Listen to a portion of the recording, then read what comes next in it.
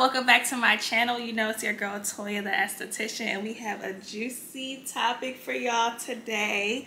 I have my special guest, my man, my man, my man. It's the hubby. Introduce yourself Hubby. and your name. Hubby.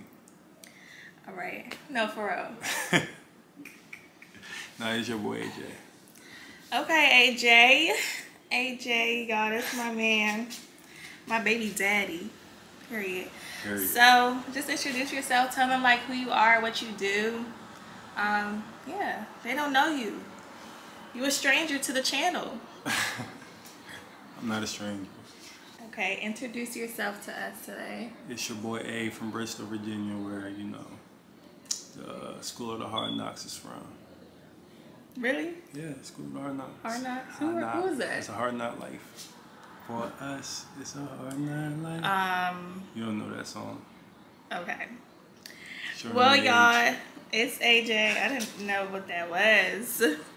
But, um, okay, so y'all know that's my man, my man, my man. So today we're just going to talk to y'all about, like, how we met, who we are, and then we're just going to j- dive into the whole dating in your 20s. Like, we're dating, but we didn't date until our late 20s. So we just want to talk about the pros and cons because we've both been through, you know, different relationships. So I just want, you know, them to hear from us.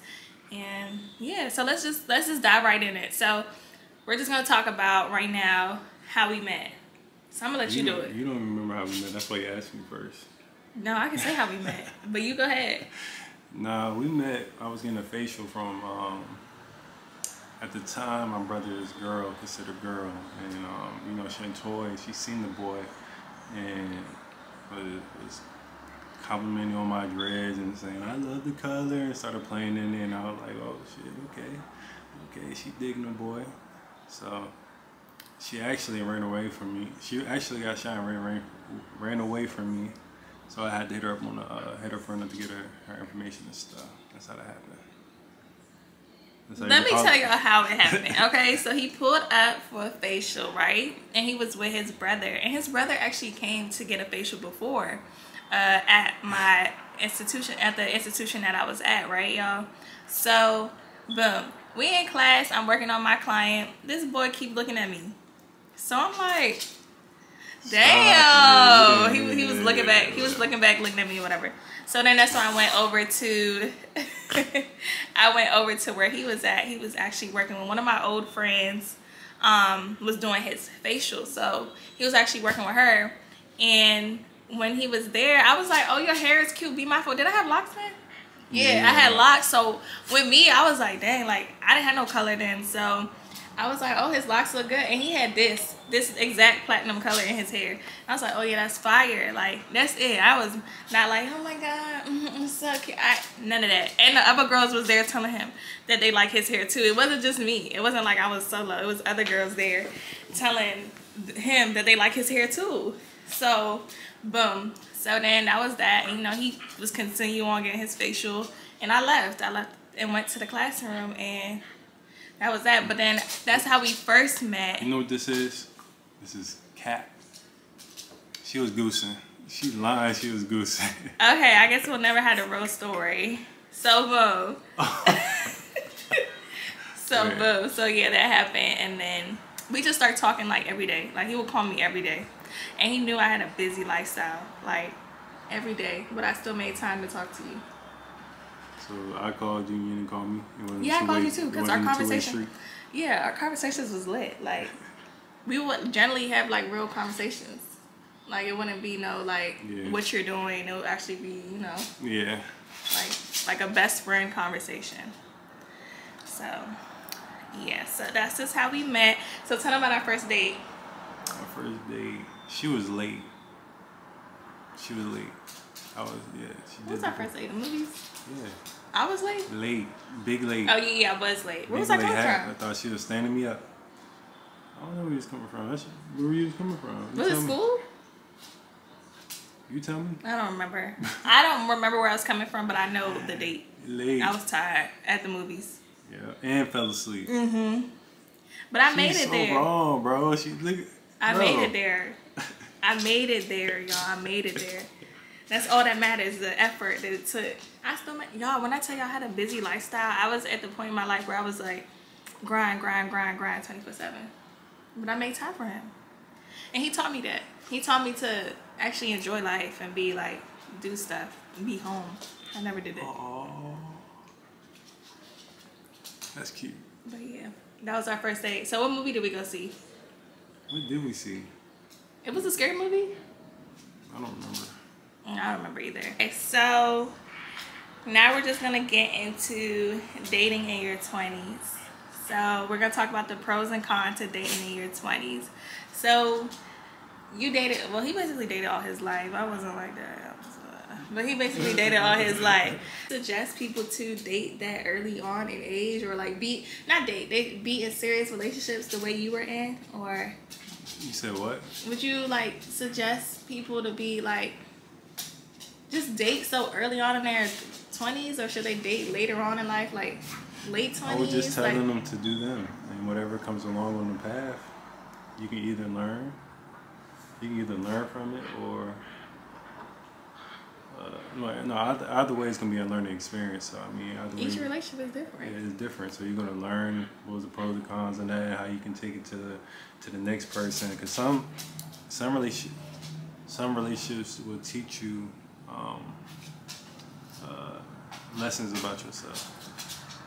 So I feel like you can learn a lot by dating. And So would you let your daughter be in such a serious relationship early on and like no, I know you can't control it, but this is just just saying.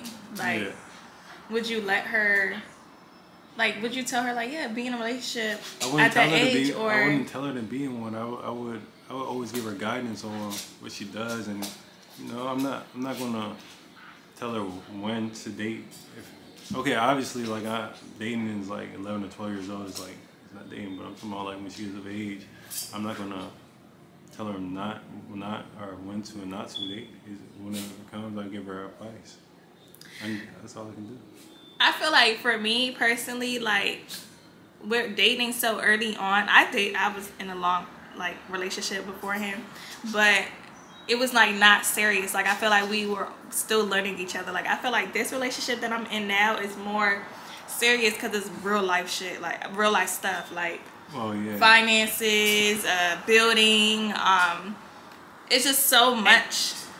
With us, we have to think more of like building. Like, do we see a future together, or do we want to live together, or do we want to buy a house together? Don't you feel like that when you're in your younger twenties? Like, you're not thinking about that. No, that's subjective. Okay, go ahead. There, there's a lot of people that that I've well, okay, where I'm from, uh, it's very common for like like a person to start their journey with somebody else like 23 or 24. Like I've seen that. It's all. I mean, you know, it's on you. I guess it depends on the person. How they do you think it's like how they raised? No, I, I think it just happened. Like it's fate. You can meet Oh, your fate. person. You can meet your person in high school. Mm-hmm. And be like, Yeah, like- no, I do believe that, but it's not common for real, for real. Like, That's subjective. I seen I seen like a lot of people from my that's in my grade or that have families and, and are married got a house with somebody. Like I, I it's and they can say that they happy that they met. I, I don't know if they I don't talk to them every day to Oh. know, but I, I see it. Like I I'm seeing a lot of marriages. And they still together around to that 23, 24 age. Like that's when you get out of kind of that's where you get out of college really. No, that is fine. But I'm saying like starting off dating like 20, 21, I feel like you're still finding yourself. So to get, take that person serious, like yo, I'm gonna tell my daughter, please do not take these these. Then don't then uh, if you're gonna tell her that then I Okay, I'ma want tell- her to get in a relationship at all. No, I'm I'm gonna tell her take it serious, but don't take it too serious because then her heart gonna get broken. And And she stuff. don't need to, if she's not gonna take it serious, then she don't need to be in a serious relationship with somebody. It's called a serious relationship. Make sure Well- you bubble that serious relationship. If you're gonna tell her not to be serious, then there's no need for a relationship.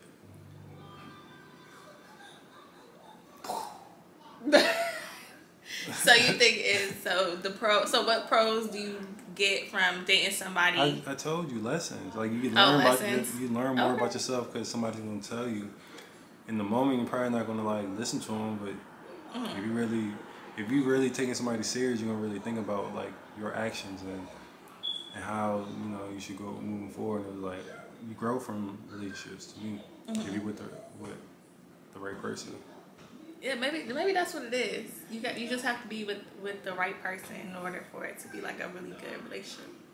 Like someone both Oh y'all. yeah, but like I said, like it doesn't matter. Like at that at that time and moment, that person was the right person. Then y'all grow apart, but you still grow.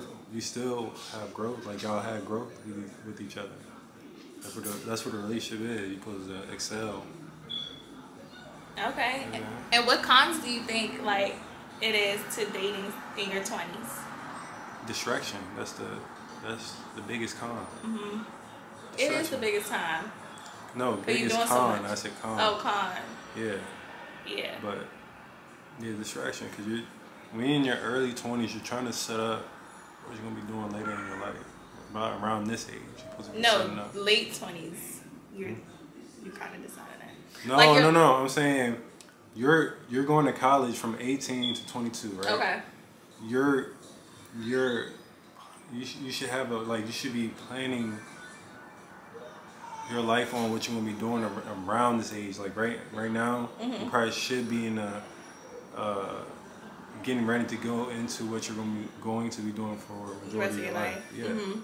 So yeah, twenty the early twenties is the most vital part part of your twenties because you're setting up your plan But the beginning stages. But it- no, I'm not saying that everybody. Everybody. Oh, yeah, 'cause I didn't do that.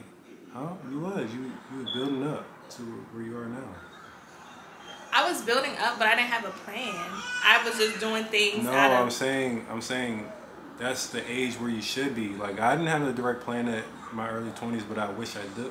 I did. Mhm. Like Yeah, if I, if I right now, I, if I knew what I knew now, I, can, I wish I can go back. Mhm. That's what I'm saying. Like you're supposed to be working on a plan in that in that early time frame, Okay. 20s, to set up for now. So you think it's just distractions as like females got distractions or guys have distractions both, during both. early age? But what distractions are there? Like other females you talking about, or like It's being in a- a party scene, or what? like just wasting time. Like you don't want to waste time. Like if you're going if you're going to be involved with somebody and, and half-ass it, you're wasting time. And time you can put on yourself. When you worried about yourself 100 percent of the time, you go so much harder. You go so much harder than when you get in a relationship because you gotta get your mind off that. Once you get your mind on what you're like striving to do, you're going. You're. You're. It's a distraction. Like. Damn, I lost. I lost.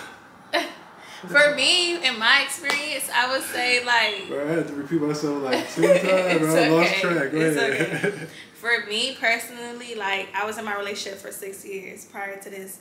I didn't have no vision. I didn't see that person being my end person. You know, even though I was in a relationship with that person, I did not see the ending of it.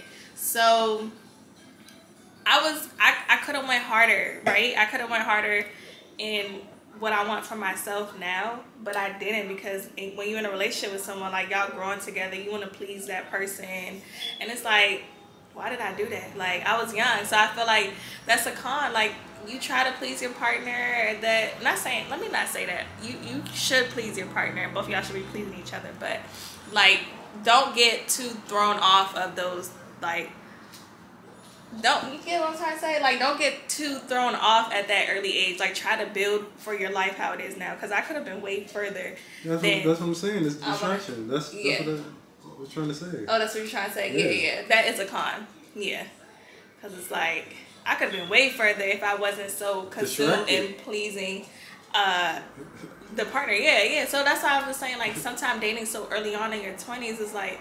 Dang, that, that should be kind of the years that you really grind it. Unless you have a partner where both of y'all That's what I said, bro. Yeah, I, I know, I know, I know, but unless you got both partners can do that, you know what I'm saying? But yeah, yeah, I think that that's that's definitely a Same con. Yeah. Yeah, that's definitely a con to dating in your twenties. So what's the pros of dating now, like in your late twenties? So you like dating you kind of got me on my like high horse because when I was dating you like in the beginning, you were always like busy. Every time I came home from my first job, it was like, damn, I gotta go to this job. I was. And then go to this job, and I'm like, damn, I'm I'm sitting here on my my bed just like. But I wasn't dating nobody. I know, but That's what I'm saying. I That's you wasn't dating need to be- nobody, so I wasn't that busy. Like I, I should have Oh, been yeah, on my grind right. time. You know what I'm saying? right, Like. I was slacking. So I'm like, damn, like schedule should be like that. Oh yeah, yeah, right. And then that's when I, you see I got my my uh, I went to my part time, and then I was doing that for a while, and then you kept. You need to start working two jobs. da, da, da." he, he overdid it. He No, was working till like eleven. You was working till like grind eleven time, p.m. grind time, grind every time. day. You I at too. least okay. I at least had some days where I came home at maybe. Mine's is the weekends. Yours is whenever. Oh yeah, mine was Okay. whenever. Yours was. Yours is whenever, but you're Yeah. gone to what two two o'clock, three o'clock every day. Yeah, What you talking about? I, but I was I was doing that off of. We can get in talk. We're gonna get in that on the next discussion. But yeah, I yeah I'm gonna let y'all know that. But yeah, you right. You right. That's so that's like the pros of dating in your late twenties. Just for anyone out there, like what would you say, dating in your late twenties, like what should they be doing? Like with their partner, like should they be thinking like, you know, like what should they what they should be doing? Uh, Late twenties, we about to be thirty.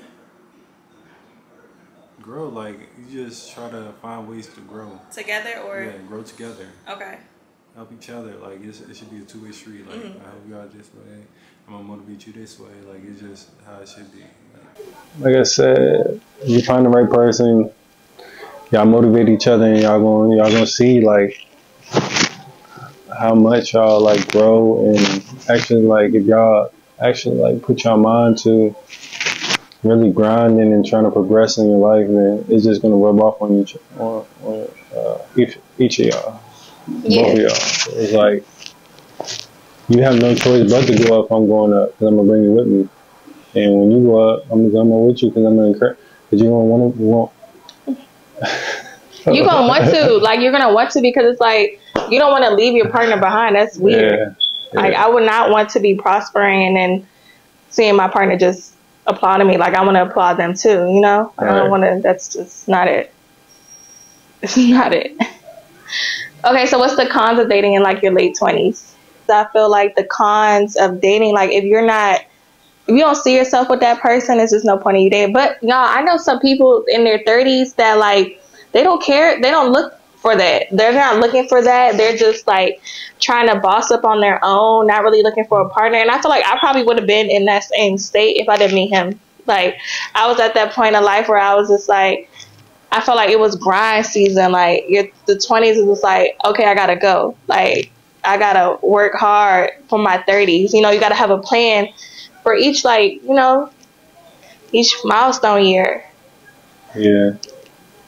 Yeah, because because in the early in your early twenties, you're more like you you gotta like learn to win, like learn to have fun when it's time to, instead of like trying to have fun all the time. Like I think that was my problem. Like I wanted to have fun all the time. I was too. Yeah, That's man. early twenties. You're twenty one now. But we could have been we could have been you know like, Right. working harder at doing it. At that age. Yeah, yeah. And looking at it like, dang, I'm gonna turn up when I'm thirty. Right, right. But nobody look at it like that. We Right. look, we turn to twenty one. We like, where the first liquor store? Yeah, yeah, like yeah, you know, like no one's thinking about it like that. Exactly. So yeah, those are just some pros and cons, y'all, from you know just dating in your twenties. But we're still in our twenties, so we're in our late twenties, so we're trying to learn.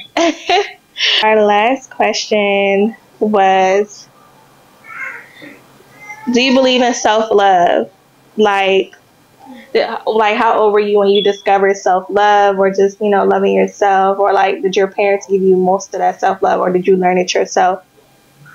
Uh, I always love myself since I can remember. since you were born. He I was the can't- favorite, y'all. I can't. You know, you put like out of everybody in your in your life, you supposed to love you the most. Like, But sometimes it takes time to get there. I'm one like, of what do you mean? Like you talking about? Self love. It was a while. I would say I wasn't until like when I was probably like 23 is when I really wanted, really just loved myself. And during that time of me loving myself, I poured more into myself. When you don't love yourself, it's hard for you to pour into your own cup. You know what I'm saying? Because you're the one who's having that self love. But if you can always pour into your cup, that's good. Some people just have that naturally. I didn't have that. I had to learn how to pour in my cup, happiness, what to do to make me happy. I didn't know those things. Mm. So that's I took I wasn't until I was 23 until I learned self love. So I think maybe it's just the way we you grow up. It could be. I just Yeah. I just always You just always had self love. I always love myself. Like Mhm. I always like when I'm little. When I was little, I was like look to be like. I always want to like. I don't know. It's something like. I can't really explain it, but ahead, You can't really I explain it. ahead.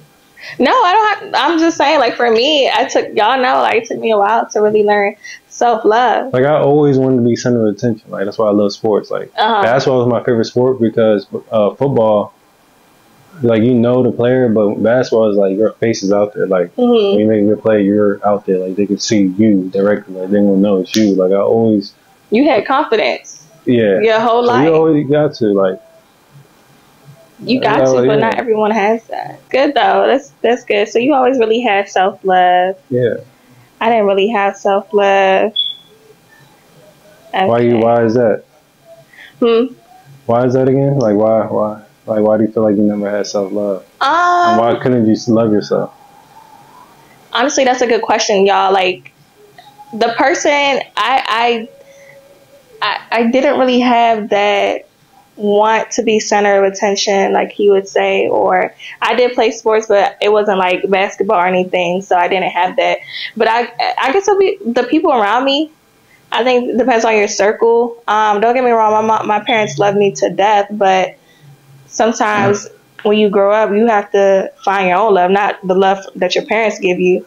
Um, being bullied, I was bullied uh, in life, so that was a straw on me. Uh, suicidal thoughts, um, depression, sometimes. So it's like a lot of that stuff, you know, leads to um, self love. Like, and then when you get when you go through different life obstacles or past relationships that break you down, you have to learn how to build yourself up and know how to love yourself again. So that's what my story is. I love that. That's. I never knew that. Yeah. I never told me that. I never asked, but Yeah. So that's just, you know, wow. story of self love. And I have the most confidence now. Honestly, I don't you have the most. You have the most confidence now. Like, I, when when did you gain all this confidence? Um, I would say last year or two years ago before my baby. So probably two years ago when I was like 20. Yeah, like 24. What? Why you acting like you haven't been popping your shit?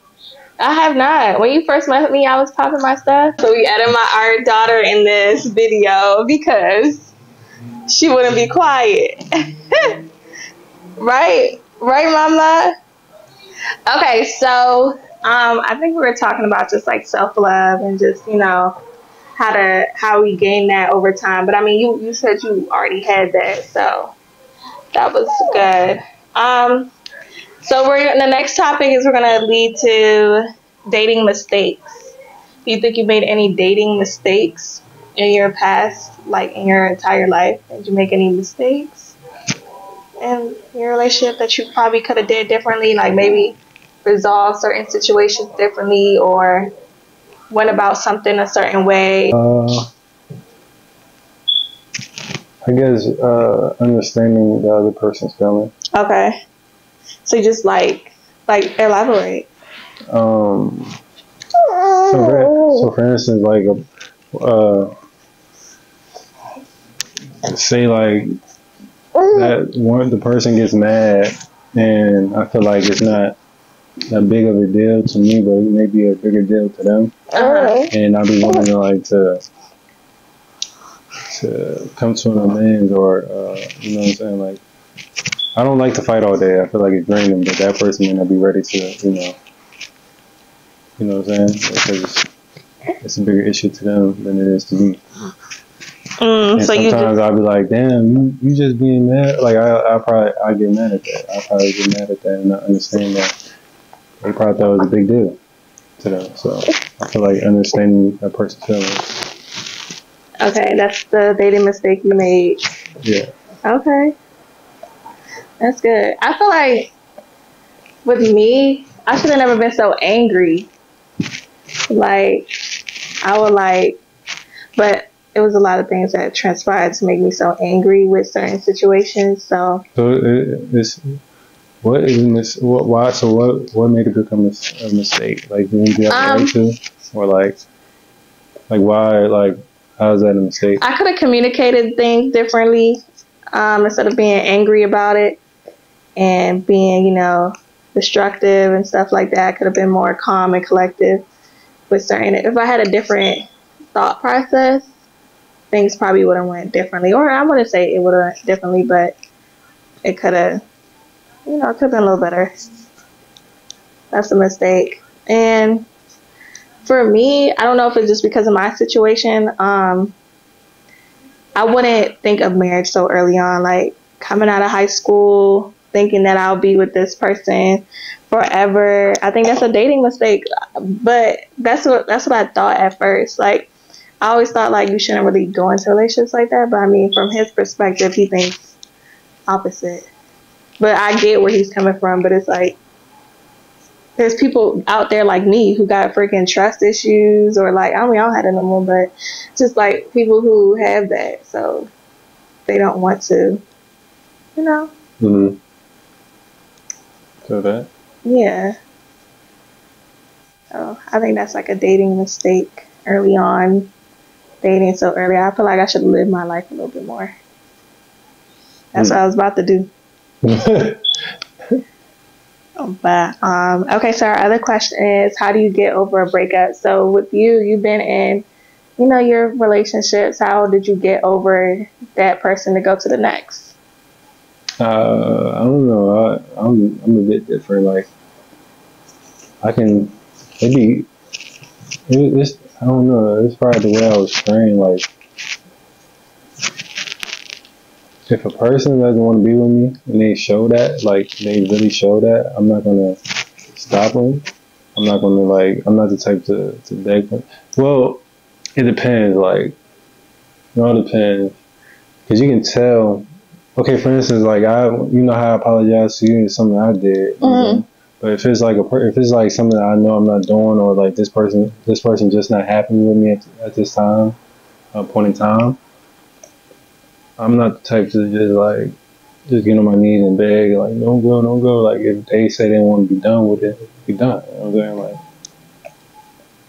that's that's how it is. It's a pride thing. It's not a pride thing. It's more like I'm not going to waste my time. My time, every like I'm not gonna waste my time trying to bring back somebody that's gonna be in my life. That's wasting my time. Like, I'm not Mhm. gonna waste my time like that. It's meant to be. It's meant to be another. one. You know what I'm, not, I'm not the type to force anything. So what if they came back? Like, y'all, she broke up with you, whatever, Mhm. and you know, you was just like, you didn't want your time wasted, so you just like, you know, just you let her go, whatever. And then she came back And she maybe came back, and, and, and you know, you know when I don't know when she came back. It's, what do you mean she came back? Like like if she come back and like like oh, okay, let's do this again. Like if she comes back and like say like let's like do this again week, after, after a week, or maybe a like, month later. After like a couple months, the feelings that you have like with with that person, non-contact, it, it starts to like you start to get used to being without that Away person. from that person, yeah. No, that's Yeah. true. like You do. at first, a breakup it, it sucks because you're with that person talking to that person every single day. That's the person. That's the person you was talking to every single day, every hour on the hour. So of course you're gonna have like you know you're gonna be sad, sad and miss that person. But after a while, you Bless just you. you know. Bless you. Okay, yeah, that makes sense. Okay. Now get into the nitty gritty, the last, you know, couple minutes. We're gonna talk about red flags. So what are some red flags you feel like, you know, are in a relationship or just dating nowadays in our time? Like what do you think the red flags are? Like some red flags. Uh, no motivation. The biggest one for me. Like stay, stay, in, no growth. Like that's that's the biggest red flag. No growth. Okay. I think a big red flag is like not having a job. Um, But that goes into like growth. Like there's no growth in that. You don't have a job, you're not. Like you can't. It's impossible to progress. yeah. You know, you gotta have something. You got okay, not not a job, but some type of income. You don't have to be a job, but some Can't type of communicate. yeah, That's a red flag. yeah. A red flag is can't Communicate. communicate. The red flag that you think. Um. Oh, what is another red flag? Um, Being insecure. oh yeah, yeah, yeah. That yeah, is yeah. one of my red flags. I do not want to be with someone who's insecure. Um, because there is just yeah, it's just not gonna work. Yeah, yeah, Like they gonna think that you you know, you can't go somewhere and they thinking you talking to their friend or something. right, you know? right, right. Like nobody wants that. Yeah. So Um, insecure. Being insecure insecure is like my biggest thing. Uh, yeah. Trust issues. Do you care about that? Is that a red flag for you? Uh, Okay. oh, that's not a deal breaker. Okay. That's something everybody probably got. With, with you don't have to be relationships. I got trust issues with. You can have trust issues with your friend. You know, you know what I'm saying. You don't know who's gonna snake you. At the end of the day, you got to. You gotta. If you don't think about somebody, you're crazy. Because anybody, anybody. I see niggas' mamas on my phone cussing. Yeah, you are ridiculous. Oh my god. How much did you say? No, I seen uh, I seen people's own mothers and parents snake them. You know, you gotta have, you gotta think everybody gonna do you wrong at the end of the day. Some type of guard up. Yeah, for You know sure. what You can be married with somebody and they, you know, Uh huh. always do that. You gotta have some type of guard no matter what. No matter what. So the video is about to end. So what advice do you want to give to people that are dating in their twenties, or something that they can take away? Um, take your time. Don't rush into nothing. Everything should be strategic and, you know, stay grinding no matter what. Grind, grind, grind. Always think of ways to Bill? make to, yeah, to build, you know, try to find ways to make more money. Like that goes into building, but money, you know, just just always keep trying to progress each year. That's that's my goal at the end of the year. My goal at the at uh, every uh, January January first is to progress each year. That's my goal, and I for for the past three four years I've accomplished that. So I'm proud of myself. So that's what I got. Yes. Well, thank you guys for mm. joining us on our talk. If you like it, we would do some more relationship advice and talks and kind of get more deep and down to our relationship and how we get over arguments and stuff like that. So, see y'all soon. Love y'all. See y'all. Bye. And subscribe down below. Bye.